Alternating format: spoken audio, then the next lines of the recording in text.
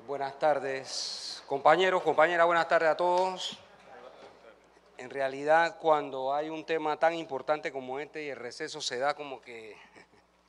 Pero vamos a tratar de contextualizarlo para ver la situación, ¿no? La pregunta es por qué no se cumplía con el acuerdo, el acta número uno que firmamos. Este acta del 25 de julio, que hoy cumple precisamente un mes, está firmada por el señor Federico Alfaro, tiene otra firma arriba que no, no sé si es el mismo, eh, y también está, creo que por Monseñor. Y una de las características del acta es que dice que el gobierno nacional se compromete al fiel cumplimiento de los acuerdos consensuados.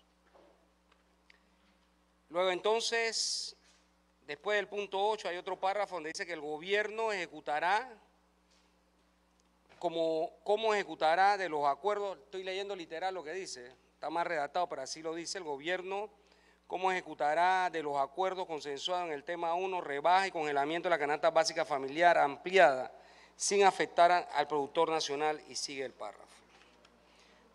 Entonces, el tema acá es que cuando vemos el anexo 1, dice el gobierno nacional acepta reducir el costo de la canasta básica en un 30%. Para ello implementará distintas medidas complementarias a saber, establecimiento de precio tope, subsidio al consumo, productos nacionales, reducción de arancel de control de margen de comercialización, adquisición de productos nacionales a precio de mercado y ofrecerlos con el programa del Instituto de Mercadeo Agropecuario que se denominará Productos Panamá, con un descuento de 25%. El precio con el descuento estará establecido en los empaques de los productos así adquiridos. Después dice las medidas complementarias, esta que acabo de leer,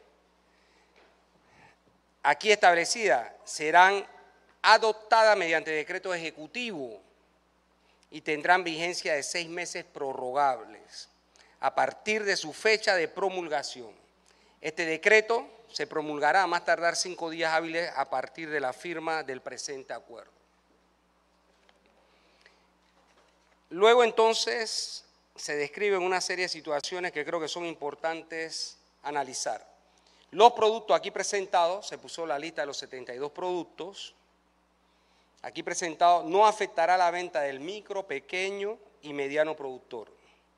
En todo caso, el gobierno nacional asumirá la diferencia. Luego llegamos al punto 5, que dice lo siguiente. Las partes acuerdan en que el Ejecutivo desarrollará un plan para la realización de ferias y establecimiento de tiendas permanentes a nivel nacional Luego dice, el gobierno se compromete a que los productos de la canasta básica familiar y los productos Panamá estén disponibles para la distribución en tiendas, abarroterías, supermercados dentro del territorio nacional. Del punto 5, el último párrafo dice, el gobierno se compromete a que los productos de la canasta básica familiar y los productos Panamá estén disponibles para su distribución en las tiendas barrotería mini super dentro del territorio, de los territorios comarcales. Este es el acuerdo. Luego entonces está el decreto 17 17 del 26 de julio, es decir, un día después que estuvimos aquí, y en su artículo 2 dice, este programa se ejecutará en todas las tiendas y agroferias de Lima, incluyendo en las tiendas de Lima, en los mercas a nivel nacional y en tiendas mini super y abarroterías de las comarcas. Esta normativa hace referencia al párrafo último del artículo 5. Dejó por fuera el párrafo segundo del punto 5. Entonces nuestra, nuestro cuestionamiento es, ¿Cuándo se va a hacer cumplir que esté en tiendas, abarroterías y supermercados? Como dice esto que es el anexo del acta 1. Luego entonces el distinguido director de jurídico de Acodeco ha hecho una interpretación de un acuerdo utilizando, en efecto, el tecnicismo hermenéutica jurídica que dice que hay que interpretar cómo se interpretan las normas. Y es cierto, cualquier abogado que agarre el Código Civil, busca el capítulo tercero, dice interpretación y aplicación de la ley. Y ahí vamos a encontrar cómo se va a jerarquizar, cómo una y otra, qué pasa cuando confluyen contradicciones entre ellas, quién debe aplicar. Pero eso no es lo que nos ocupa aquí, no es objeto de lo que nos ocupa aquí. ¿Por qué? Porque aquí no hay contradicción de ninguna clase. Los productos Panamá tenían que aparecer en tiendas, supermercados, abarroterías, etcétera, y también tenían que aparecer en esa misma dependencia en las comarcas. Entonces aquí no hay contradicción ninguna, aquí hay una omisión del acuerdo y nuestro planteamiento al Ejecutivo ha sido que cumpla el acuerdo, que cumpla el acuerdo. A ello, pues el Ejecutivo se ha presentado con una serie de elementos que ha indicado eso para la interpretación jurídica que se hizo desde el, director jurídico de Acodeco no, no aplica. Y cito los artículos, del artículo 9 al 15 del Código Civil, cualquiera de ustedes puede buscarlo y leerlo, fácil interpretación. Pero lo primero que dice, el artículo 9 dice, cuando el sentido de la ley es claro, no se desatenderá su tenor literal. Si yo quisiera hacer derecho comparado, yo agarro eh, de nuevo el punto 5 de los acuerdos y lo leo, y literalmente dice lo que dice. No hay que buscarle otra interpretación ni jerarquizarlo. Está claro. Pero esto no es un debate jurídico, advierto, por eso lo dejo hasta allí y cualquier ciudadano puede buscar el artículo 9 al 15 del Código Civil y va a ver lo que estamos hablando acá. Lo dejo hasta allí. Luego entonces el director del... Eh, perdón, el viceministro del MIDA nos dice, no, perdón, Cristóbal Tuñón nos dice que había una variable que no habíamos tomado en consideración, que era que las acciones de lucha popular habían, es decir, eh, interrumpido el suministro normal de la cadena de suministro, es decir, de transportar las mercancías, etcétera, etcétera, etcétera y que eso es una variable que tiene que estar, eh, tomarse en cuenta para ver el tema del 8%. Yo lo que dije aquí es que no se nos entregó una información del 8%. Si no se llegó a 8%, tenían que decirnos, bueno, no llegamos al 8%, pero llegamos al 4%. Y podrían decir, esta variable nos interrumpió llegar al, al, al 8%.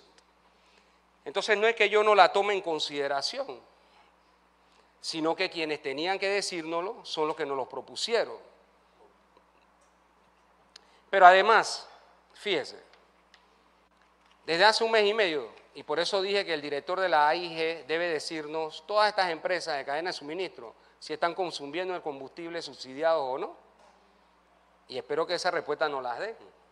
Porque tú no puedes consumir el combustible subsidiado y encima mantener los precios, aunque se haya interrumpido en su libre normal funcionamiento la cadena de suministro. Entonces ahí obviamente hay un problema, hay un problema. Podemos, si queremos atenuarlo, decimos hay un problema ético, pero en realidad hay ahí dolo, porque allí obviamente hay ganancia, se está abaratando el proceso de producción y se mantienen los precios y no solo se mantiene, sino que han incrementado. Creo que eso también lo podemos entender nosotros perfectamente. Con relación al tema de Lima, fíjese, el artículo que leí 5 sí habla de ferias, sí habla de tiendas permanentes. Nosotros no estamos diciendo que eso no lo dice el acuerdo. Lo que le estamos diciendo es que aún eso es insuficiente. No le está llegando los productos a la gente y es el cuestionamiento. Entonces está el, dilema concreto que estos productos pueden, pueden llegarle quizás a la población, si el IMA hace lo que el, el viceministro nos ha dicho aquí, que el acuerdo es que no se va a afectar al productor nacional. Entiéndase que el acuerdo dice micro, mediano, pequeño. Ahí fuimos enfáticos una y otra vez. Pero si el IMA le está comprando a precio de mercado, que es lo que dice él, acuerdo, ese micro, pequeño y mediano productor no está afectado. Porque el acuerdo dice que le va a comprar a precio de mercado y va a reducir un 25% para que el consumidor lo adquiera con un 25% de descuento. ¿En dónde está la incongruencia de lo que nos está planteando el viceministro del MIDA? Que en defensa, dice él, del pequeño productor, del micro y del mediano, no puede comprarle el producto y ponerlo en el supermercado porque si lo pone en el supermercado lo pone a competir con él mismo. Pero si él está vendiendo la producción justamente a Lima, salvo que ese micro, mediano y pequeño tenga la posibilidad de producir, yo no sé, mil por ciento más de sus capacidades. Y eso, no es lo, que pasa con el micro, pequeño y mediano productor. Si el Lima compra, como comprar eh, o paga el arroz subsidiado, significa que él tiene garantía de que va a vender su producto, que uno de sus problemas es que no tiene mercado. Ese, eso, eso, eso micro, pequeños y medianos productores. Entonces, creo que esa tesis es muy débil en función del ejemplo que se planteó. ¿Por qué? Porque lo que se dijo es que Lima compraba sin afectar. Incluso hay otro párrafo que leí que dice que si afectase, lo asume el gobierno. ¿Qué está ocurriendo en el fondo? En el fondo es que los productos Panamá, si no llegan a los supermercados, a las tiendas, a barrotería y mini super, la población no los va a poder adquirir. Tendría que ir a las ferias, a las tiendas permanentes, para poder adquirirlo. ¿Sí? Pero eso entra también en una lógica que es la con la que actúa Codeco. Codeco siempre va monitoreando y te dice, ve acá, el plátano en Darien cuesta un centavo. Pero el pollo en Panamá cuesta 10 centavos.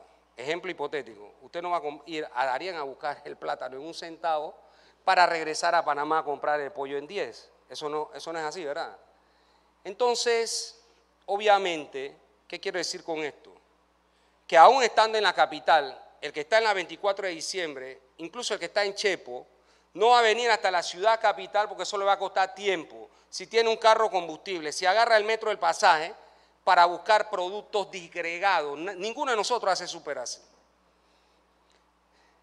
¿Qué estamos planteando? Una medida sencilla. Queremos que los productos, tanto Panamá como los que asumimos que ya asumimos, dije, presumimos que es cierto que hay 35 ya en los supermercados, tiendas y abarroterías, estén allí.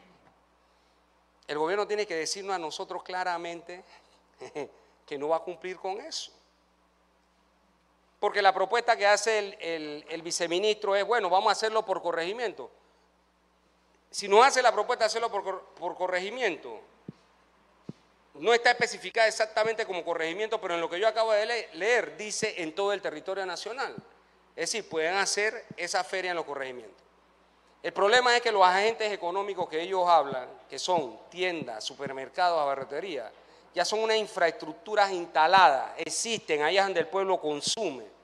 Si los productos no llegan donde el pueblo consume, naturalmente no lo va a adquirir y siempre va a quedar una marginalidad, no una marginalidad, va a quedar la mayoría de la gente sin accesar los productos que hemos discutido aquí. Entonces, yo creo que las aguas están bastante separadas. Uno, si el gobierno va a cumplir o no va a cumplir lo que hemos acordado. Y dos, si ellos van a hacer eh, ferias o tiendas permanentes, ya lo negociamos. Quizás si nos dan en el cronograma y nos dicen dónde van a estar, perfecto. Hay más de 600 eh, corregimientos en todo el país. Pero bueno, aunque fuese así, no está llegando donde la gente va a consumir lo que tiene que consumir. Entonces yo creo que eh, en realidad el gobierno tiene que decirnos a nosotros claramente si va a cumplir o no va a cumplir lo que ya acordamos aquí. No lo han dicho, lo han insinuado, lo matizan, pero no lo dicen. Y cada vez que tratan de matizarlo, entonces nos obligan a tener que argumentar que yo no creo que de eso es de lo que se trata, porque si no así nos vamos a ir toda la tarde. Lo que queremos son medidas concretas que ayuden a aliviar la situación de la población y los 72 artículos que aquí acordamos iban a llegar al pueblo panameño. Entiéndase, pueblos originarios o no originarios, al pueblo panameño. Entonces, eso es lo que estamos demandando. Además de que en algún momento se nos diga cómo es que es el asunto del 8%, que era una de las variables que ellos utilizaron, que iba a bajar a más del 30%, incluso nos decían, en aquella noche que negociamos esto. Es todo lo que voy a decir, no creo que hace falta argumentar más nada. La norma no es que hay una contradicción entre ellas, hay una omisión de un artículo de los párrafos aquí pactados y lo que estamos diciendo, hombre, hagan un decreto y métanlo ahí, lleven los productos allá, eso es todo. Si eso se hace, yo creo que ya aquí estaríamos cerrando toda esta historia, nos quedaríamos con Acodeco viendo dónde están los problemas. Al Ministerio Público, esto lo voy a decir, nosotros la Alianza Pueblo Unido acordó presentar el miércoles una denuncia de estos actos que nosotros entendemos son delincuenciales y tienen que ser investigados. Pero el señor Caraballo, que es eh, Procurador General de la Nación, es, calla, no dice nada, no mueve un dedo. Y eso hay que denunciarlo. Porque Acodeco aquí muestra que está sancionando, que va a poner una, una multa, etcétera. ¿Y qué pasa con el Ministerio Público? ¿Qué pasa con el desabastecimiento? ¿Qué pasa con la acumulación de los productos? Antes que este decreto saliera, y antes de la crisis que teníamos, según el decreto 13, permíteme, camarada, este, el arroz estaba allí. En el punto 5, arroz de primera de todas las presentaciones, estaba aquí. ¿Cómo es que después que el pueblo sale a pelear, el arroz desapareció de los supermercados, tiendas y abarroterías? Eso es un acto delincuencial, además de la adulteración que ya sustentamos. Entonces, hombre, vamos a ser serios y vamos a entrar en materia para resolver el problema de la omisión. Mi propuesta es que el gobierno, en un decreto que pueda incluso adicionar al decreto 16, 17, meta el párrafo que hace falta y que empiece a llevar los productos para que la gente pueda,